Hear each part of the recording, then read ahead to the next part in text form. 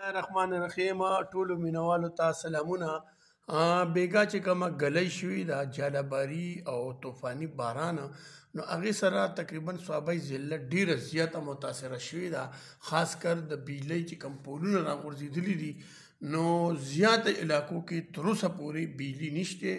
او وابډي والا چې کوم نه مختلف ځایونو کې ګرځي فالټونه معلوموي خو هغوی ته له اوسه پورې د فالټ هم پته نه لګي ډیر زیات رانه شوی دی خاص کر ګولي ډیری باجا بامخیل پنجپیر کالا شاه منصور درا جمال آباد شملو کیمپ سیوا د سوابي خاص نه دا ټول علاقې چې کومه ما یاد کړې دلته تقریبا د سلو نه زیات پولونه راغورځېدلې دي ترانسفارمر راغورځېدلې دي او دلته اثر نو بوس پولونه لګي نو دلته د بجلی ډیر زیات بحران دی امید لرو چې سبا که خیری ماخام یعنی 72 ګنټې به کم از کم دغه علاقو ته لګي ګلوډی رای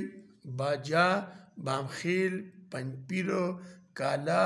شاه منصور درا جمال آباد شملو کیمپ سبا ماښامه پورې توقع ده چې دې علاقو ته بجلی بحال شي البته شاه منصور کې چې کوم دی نو باچا خان میډیکل کمپلیکس چونکې هغه یو ایمرجنسي دغه دی نو هلته د هغې لې بجلي ورکړه د صوابي خاص ته طرف نه باقي چې کوم دی نو بجلي نشته سبا به د پېښور نه ټیمان نه ځي د مردان نه به راځي او هغوی به کډې کوي او بیا به چې کوم دی پولونه راکوي ځکه دلته کې مکمل دا روډ هم بندو او ګلو ډیری څخه باجه بامخیل لالو ډیری او دا ټوله ایریا چې کومه ده نو دلته د بجلۍ شارټیج دی نو آینده بل ماښام له امید دی چې دې علاقه کې دا بجلي بحال شي نو دغه ځای خلکو ته به ډېر زیات تکلیف وي ولې چې چوبیس ګنټې دا وشوې او چې چوبیس ګنټې هغه هم دا شي نو تقریبا دا به څه